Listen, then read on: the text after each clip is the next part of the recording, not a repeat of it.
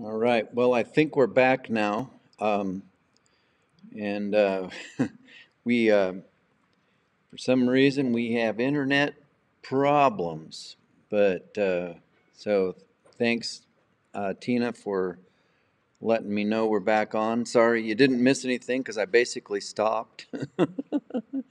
uh, um, It looks like Sharon is saying anyone else using the HCC Wi-Fi may need to log off. So if if you're on the church Wi-Fi tonight here, um, switch to data or something, and that might help us. Um, hi Perry, thanks for coming back. so um, I'm not sure when I lost you, if it was during the prayer or. Uh, or uh, that. But uh, so we're we're here, and uh, a lot of people are joining us uh, and joining back on again. In fact, it shows we have 11 people online now, which is actually more than 11 people because a lot of places there's two doing it. So two or three, or an entire family or something. So. Um, Colossians chapter 3, verses 12 through 17. Um, if we were to go back just a little ways and look at it, um, Colossians chapter 3 through chapter 4, verse 6 is the appeal for Christian living. And uh, the um, the last uh, week or so, a couple weeks, we've been looking at the root principle of the Christian life, and uh, seeking things above, setting the mind on things above, and the motivation for these. And then, uh, whoops, I'm, stacking things up on top of each other. Uh, guidelines for Christian living, we looked at last week, and uh, even later on got some comments on that one. And uh, the sins of the old life are to be abandoned, was one of the big things that we looked at last week and uh,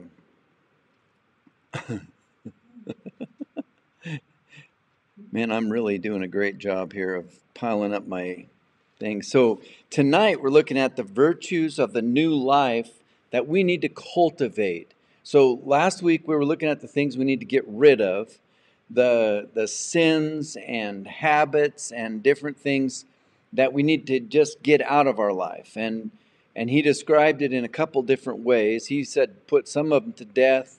He said, just stop doing some things. And uh, tonight, we're looking at the things that we need to start doing. When you become a Christian, you stop doing a bunch of things and you start doing some new things. And you, you so you put off the old self and you put on the new self. And so it's. Uh, this, uh, remember, it's kind of um, an expression of like clothing. You just take it, just take that off your life. Just take it off. Take off the old ugly clothes, the, uh, the dirty stuff, and put on the new clean garments that Jesus has given us. And uh, and so that's what we're that's what we're talking about tonight. These things that we should be putting on. And uh, the first area that, of things that we want to put on are the things that are expressions of love in verses 12 through 14. And uh, verse 12 is uh, um, verse 12 is therefore as God's chosen people, holy and dearly loved, clothe yourselves with compassion, kindness, humility, gentleness, and patience. Um, this this reminds me just the way it is. Therefore, when, the way he words this this uh, verse, therefore, as God's chosen people, holy and dearly loved, clothe yourselves with compassion, kindness, humility, gentleness, and patience. Remember um, who he's talking to here once again in the book of Colossians. It starts out Paul, an apostle of Jesus Christ, and Timotheus, our, our brother, to the saints and faithful brethren in Christ which are at Colossae.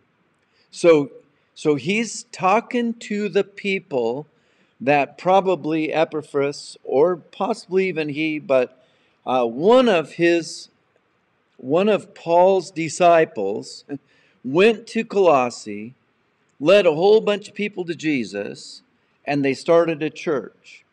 And uh, so he's writing a letter to these people, these Christ followers in Colossae.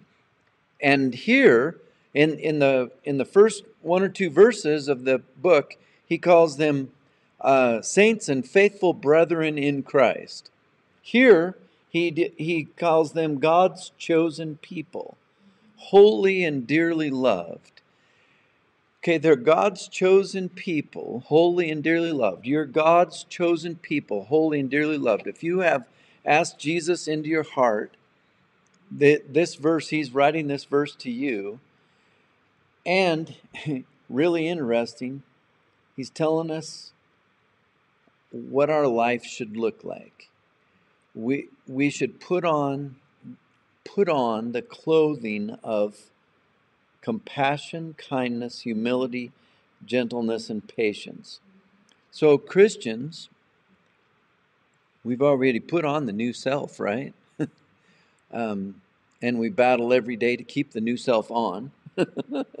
you know, if we go back to, to verse 10, we, we talked about putting on the new self, but we're doing that. And so he says to, uh, so in, back in verse 10, he says, put off the old self now he's saying, put on the new self. Clothe yourselves with these garments that fit who you now are. Um, just before somebody, uh, just before the service, there was a conversation going here about names and the fact that when we get to heaven, we're going to have a new name. Well, not only are we going to have a new name, but we're going to have all new clothes. Um, because what we're wearing here just isn't going to fit. It's just not going to. It's not going to work.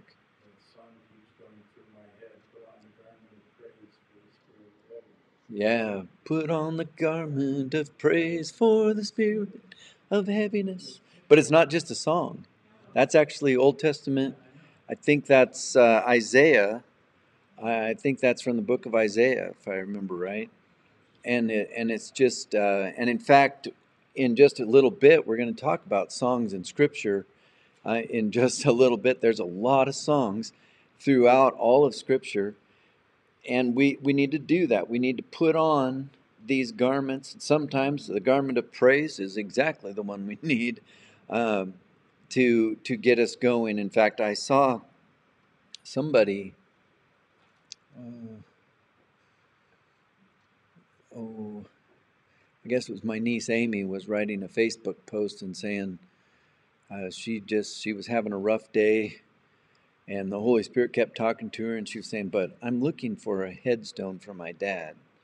What is there to praise God about in this?" And and and going back and forth, she just felt like she was going back and forth with the Holy Spirit, having this conversation that just, and finally she came out with, well, there's a lot of things to be thankful for, even in this.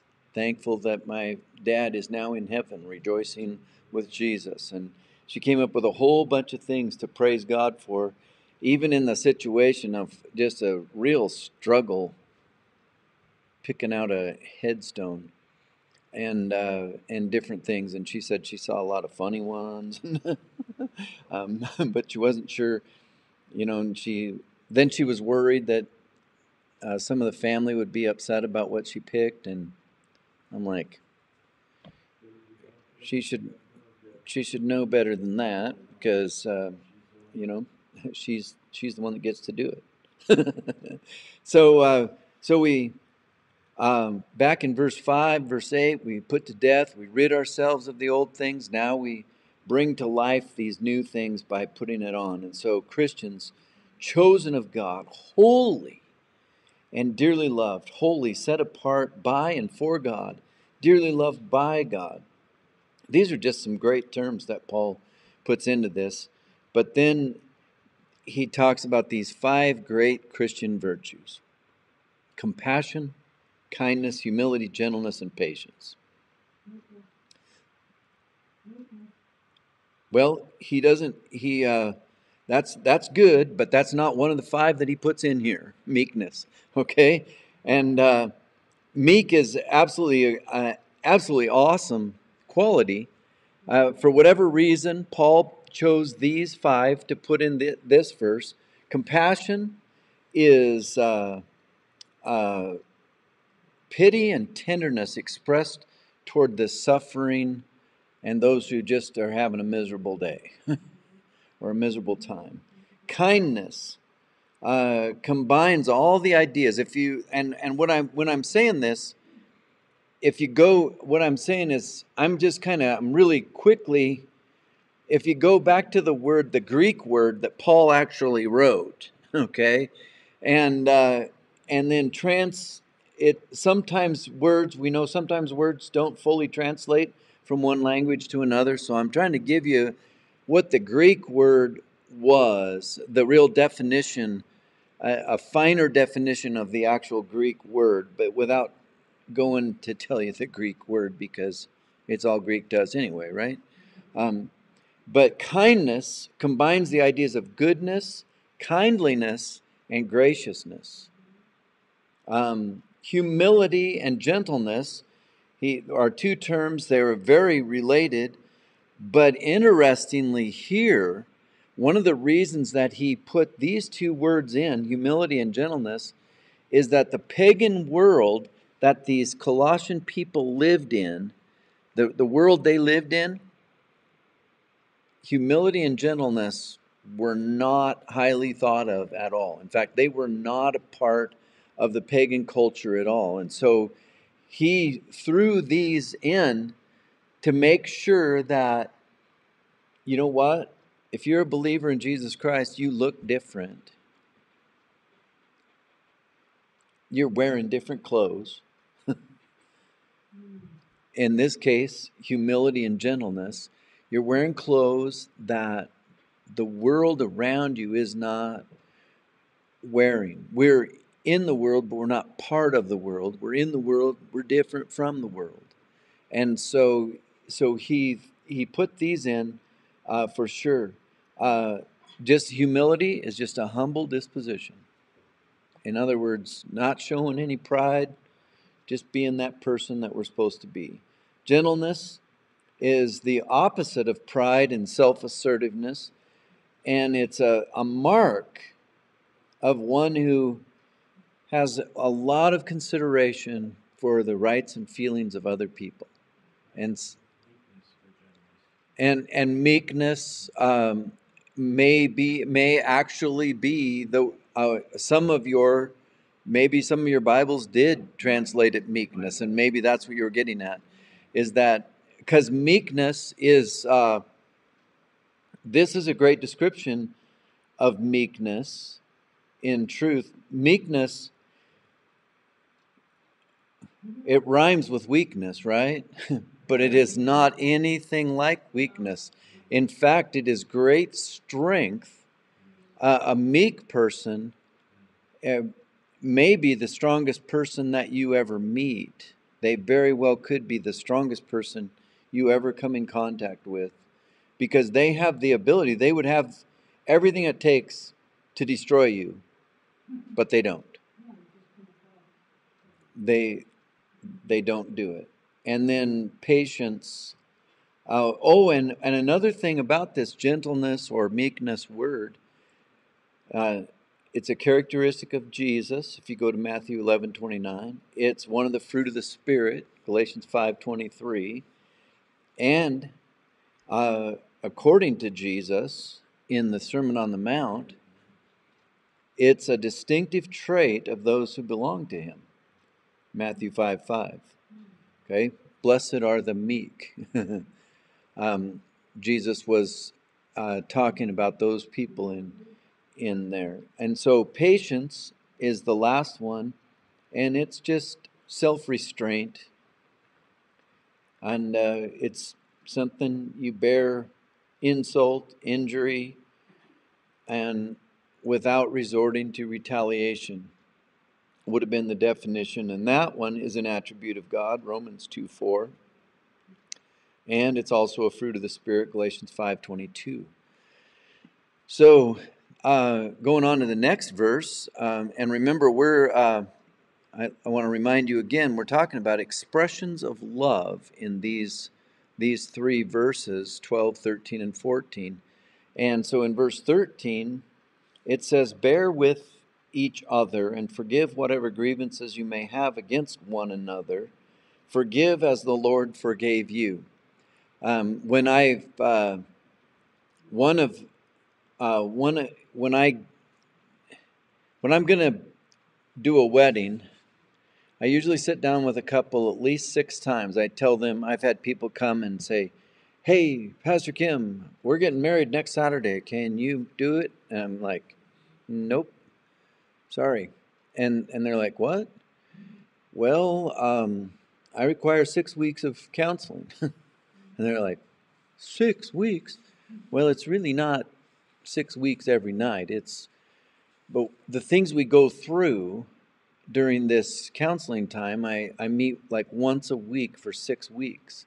And it's actually a lot better if we can take even longer than that so that you have time to contemplate these things and and one of the nights or one of the meetings that I have with these couples, I I bring up these the verses that I call one anothering verses. And I uh, I have a whole list and ask them to see if my list, first of all, is complete. But I I say, look up, and of course, it probably needs to be the King James version or Possibly not, because I'm not reading in the King James Version, but this one here, it says, bear with each other, and in some it would be bear with one another. but even later on it says, whatever grievances you may have against one another. Okay? So any verse that says one another in it, I, I challenge them to go through the Bible and look for all the one another one anothering verses and see how it is that we're supposed to treat one another.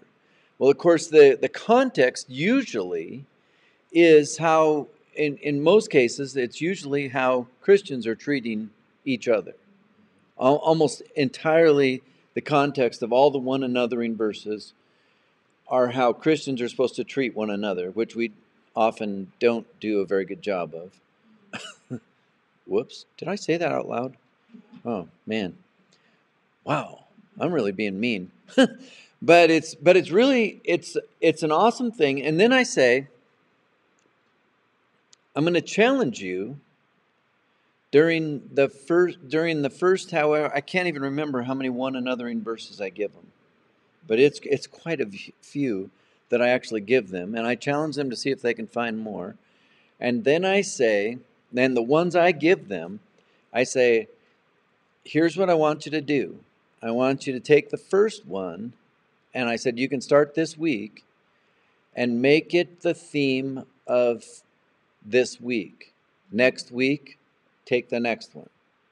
Next week, take the next one. Next week, take the next one. And when you get through all of them, then start over again. And make one, one of these one anothering verses your theme for the week. And if you'll do that, you will probably have a great marriage. For instance, this one is bear with one another, bear with each other you know what? When somebody does something to you, and isn't the ones you love, aren't they the ones that hurt you the most? Oh, shoot. Man, I'm really being mean tonight. Wow. Bear with each other, even if it's not the greatest day for the person that you're with. Bear with each other and forgive whatever grievances you may have against one another. Forgive as the Lord forgave you. What a what a great theme for a week for a marriage. What a great theme for a week. What a great theme for a lifetime. uh, for a Christian person, bearing with the people around them that may offend them, that may do something to them, that may not be perfect. Whoa. Um, but bearing with each other, forgiving each other, and forgiving as the Lord forgave you.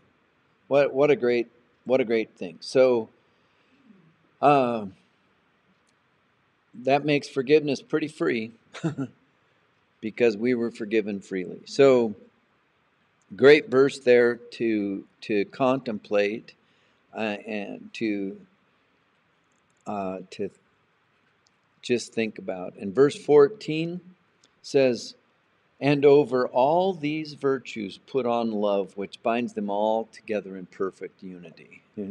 so you've got, uh,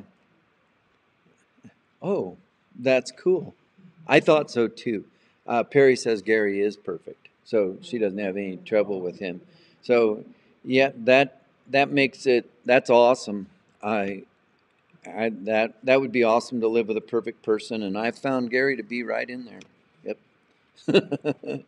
So, so you have all these virtues that we talked about, um, and uh, they they were what what were those virtues? Compassion, kindness, humility, gentleness, and patience. Gentleness, meekness, uh, all of those, and then this bearing with and forgiving and then to solidify all of those, you top it off, kind of like a binding belt or a, or a jacket that just goes over it all and keeps it all in there love.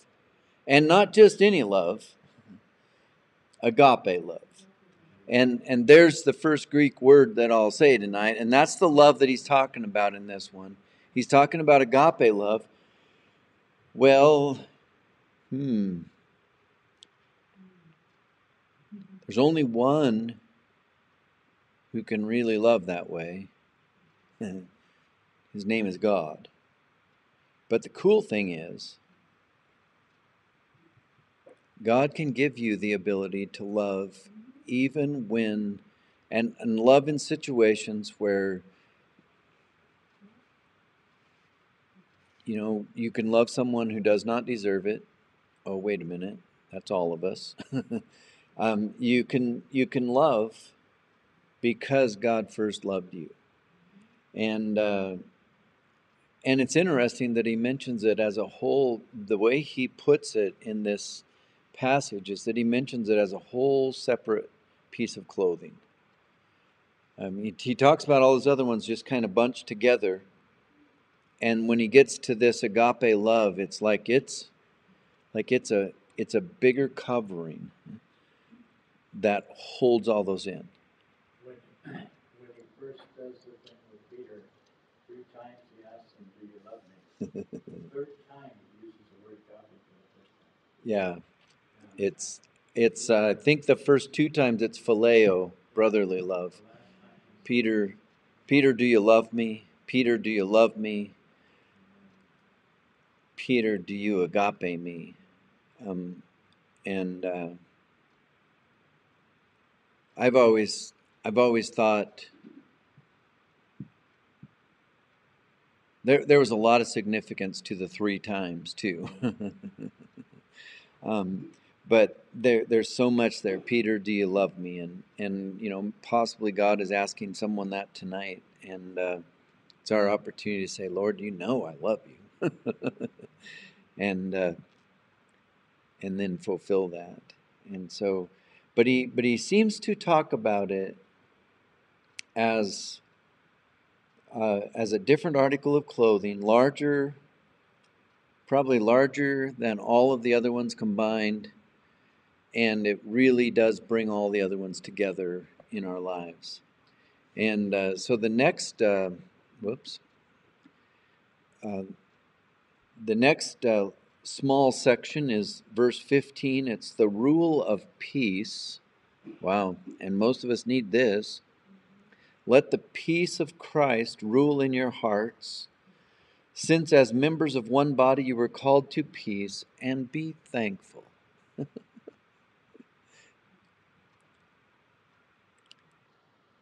and be thankful.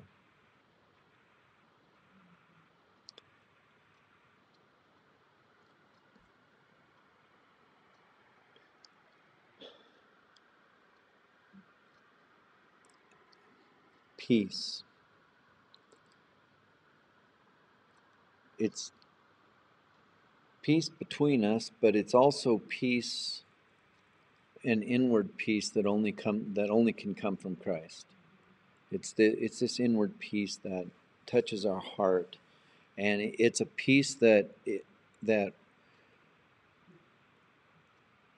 that rules even in the midst of adversity, even when everything is going wrong. And and Paul, remember, Paul's writing this from prison. he's he's he's going Oh, I'm I'm in I'm at great. He he just somehow sitting there in the prison cell, going to court every day, or as they're accusing him of things, and he's having his opportunity to present his case before the court. And we don't we don't really know if he was going to court every day or if they would bring him in and and uh, just torment him for a while and then send him back to the jail cell for three days once, five days the next time, seven days the next time. You know, we don't know how they're treating him. And he writes to these people and says, Let the peace of Christ rule in your hearts, since as members of one body you were called to peace and be thankful. So it's clear that he's talking about peace between them as believers in Jesus Christ, but it's also clear that he's talking about have peace in your individual heart, in the situation you're in, no matter what the situation is. And the word rule there, uh, the, the definition of that word, the, the Greek word for rule, is actually to act as umpire. So in a baseball game, you have an umpire, and when an umpire says he's out, well, now they go to instant replay in the in the Major League Baseball now, which is really interesting. but it was it used to be that when the umpire called somebody out, they were out, and the and the manager, the coach could come out and argue all they wanted, but it wasn't going to change anything because the umpire had ruled. And uh, so he's saying, let peace rule in your heart no matter what. Okay? No matter if you think what's going on around you is right or wrong, let peace rule in your heart because the umpire says you have peace. So so let peace rule is what he's saying, and uh, and then he finishes up with and be thankful. Really like that because most of us. Um, the the truth is, it's amazing as I go back to thinking about. I remember I brought up my niece Amy just a little while ago. She's looking for a headstone for her dad, and she's not really thankful about the thing about the whole day. She's not at peace, but as she became thankful, as the Holy Spirit worked in her heart and she became thankful, she became at peace too.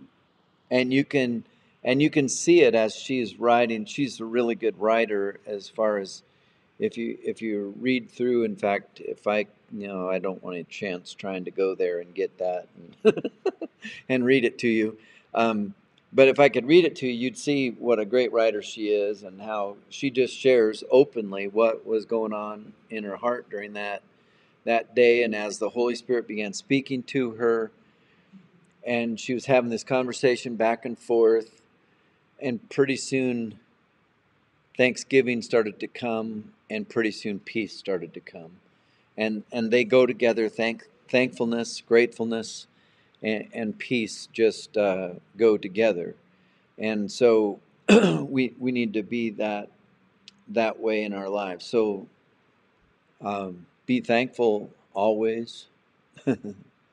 Rejoice in the Lord always. Um, those verses that I tell you every Sunday morning from 1 Thessalonians 5 includes both of those. In everything, give thanks. For this is the will of God in Christ Jesus concerning you. Really interesting. And always be thankful. so the the next small section, the indwelling of Christ's word, is verse 16.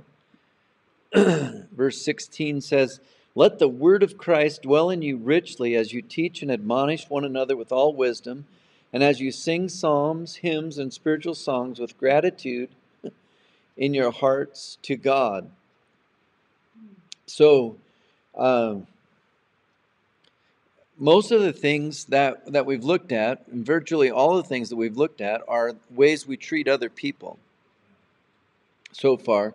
This one is uh, more focused on your own personal life. this one here uh, switches to kind of just right inside. Let, let the word of Christ dwell in you richly.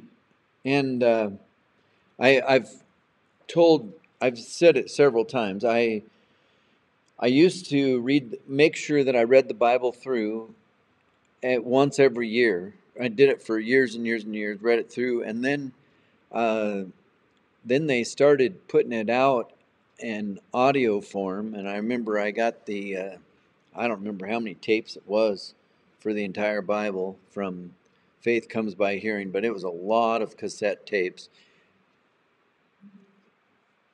speaking of technology, things have really changed. And I mean, you had these uh, cases of cassette tapes, and uh, and you could listen. You could listen to the Bible, and uh, then it came out on CD, which uh, made it a lot quicker. And now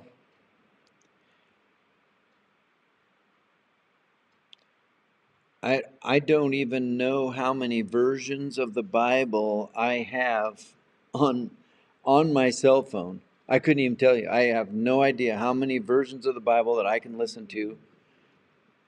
Uh, li- literally hundreds, and they're all right here.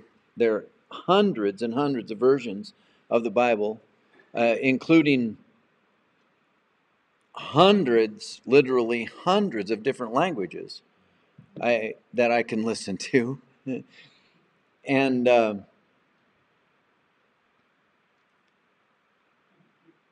it's, it's amazing. Let the word of Christ dwell in you. I spend most of the from just right after I get up in the morning until probably 11:30 or so every day I'm listening to the Bible. Unless I get a phone call or something that stops it, then as soon as I'm off that phone call, I start it again and I get going and I'm listening to the Bible for several hours every morning.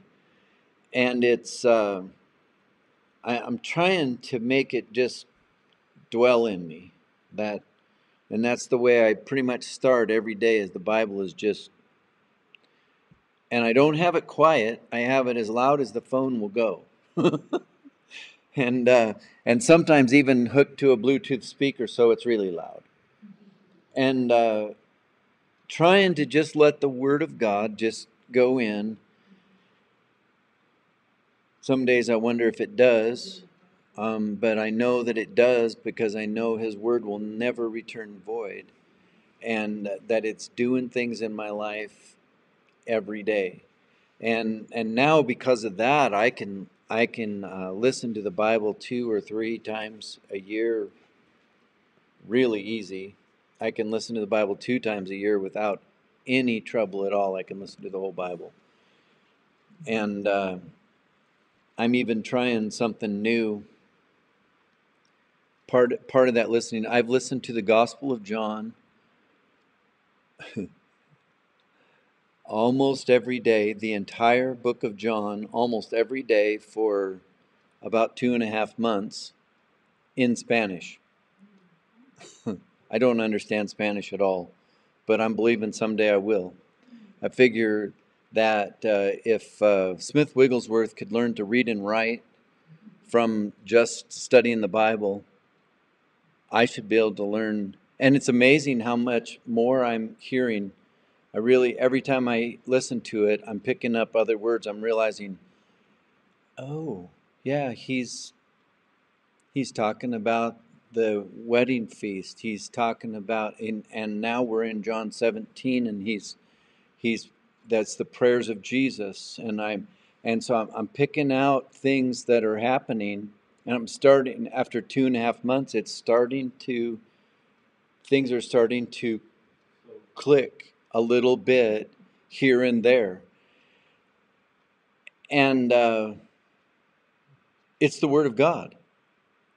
And according to all the missionaries that are in Spanish speaking countries, it's the language that we're going to hear in heaven. Um, they, almost every missionary that, that is in a Spanish speaking country says it, this, is, this is the language of heaven. It's, it's amazing how so many of them have told me that. Uh, Spanish is the language that we're going to be, and, and I, I don't think so, because I think it'll be whatever language God has, but I'm not sure that's what it'll be. Yeah, I don't know. Um, chemo, actually. No. Um, but it's.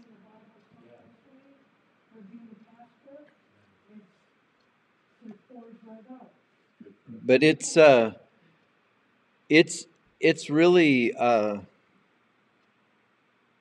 and then since we've been doing the book of Colossians, just to let you know, so I'm listening through the Bible, and I'm back. I'm actually quite a ways through the book of Exodus again. I started at Genesis and Exodus. So I, so I listened to my six or so chapters going through the Bible, which gets me through about twice each year by listening to six chapters every day. Then I listened to the book of John, Juan, in uh, Spanish then I switched to the King James Version and and listened to then I listened to the entire book of Colossians every day since we've been doing this study in Colossians. And uh, so I, I don't even know now how many times I've listened to the book of Colossians lately, but it's but it's really cool too. And and you think, wow, you but you've heard it so many times before, and but it, this is the living Word of God and it and it's got stuff every day even if you heard it yesterday even if you heard it the day before even if you heard the same thing. And I, I know that i've listened to the whole bible or read the whole bible. I my guess is at least 50 times. And every time there's something new. And that's just the way the word of god is. So let it dwell in you that's a that's a long time to say, "Let it dwell in you richly," um, with all wisdom. So so it'll teach you and counsel you, and then, I, boy, I don't know. We're going a long time tonight. This is way longer than usual. Sorry. I mean, sort of, not really. Uh, Psalms, hymns, and spiritual songs. Um, not sure that. I mean, the Psalms definitely you know, David wrote a lot of psalms. There's psalms uh, in, uh, so we have the Old Testament psalms, and there's hymns and spiritual songs that are uh, just just great stuff. But there's a lot of songs through the Bible. Songs, uh, um, and I won't. I'm not even going to touch them all. You're going to have to listen really quick, really hard to hear this. Songs in the Gospels. The Song of Mary in Luke 1 46 through 55, the Song of Zechariah. In Luke 1 68 through 79, the Song of the Angels at the birth of Jesus. In Luke 2 14, the Song of Simeon. In Luke 2 29 through 31, the Song of the Crowds.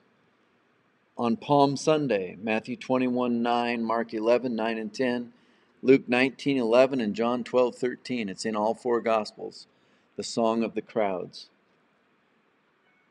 um, in the in the New Testament letters, the doxology to God in Romans 11, 33 to 36, the hymn of love, 1 Corinthians 13, right? The wake up song, Ephesians 5, 14. The hymn to the human and divine Jesus in Philippians 2 6 through 11, the hymn to Jesus as Supreme Lord in Colossians 1 15 through 20, the hymn on the life of Jesus, 1 Timothy 3 16. And then another section of songs, the songs of Revelation. How about that? Song of the four living creatures, Revelation 4 8. Song of the 24 elders, Revelation 4 11. And then 11, 17, and 18. Song of the four living creatures and the 24 elders in Revelation 5 9 and 10. Songs of the many angels, Revelation 5 12 and 13 and 7 12. Song of the great multitude of saints, Revelation 7 10 and 19 1 to 3. Song, songs of the loud voices in heaven, Revelation 11 15 12 10 through 12 and 19 5. Songs of the seven angels, including the song of Moses and the song of the Lamb in Revelation 15 3 to 4 and 6 through 8. So there, there's a lot of songs. That's just songs in the New Testament and there's a lot of them. And then, so that, so, so singing songs, singing has been a part of Christianity since before the beginning. Because um, we also, you know, if you go into the Old Testament, you have the song of Moses, you have the song of Miriam, you have, and and you have the entire book of Psalms, which are songs mostly that David wrote, um, but other ones too. And then as we move on into this last verse that we're going to look at, the name of Christ. And, and so um, re- remember this whole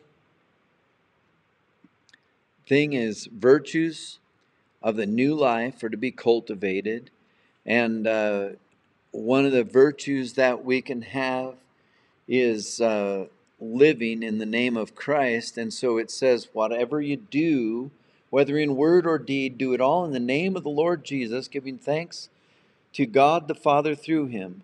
And uh, so Paul kind of gives this, this summary of the way to live for Jesus. It's do it in the name of Jesus. In other words, if you can't do it in the name of Jesus, don't do it.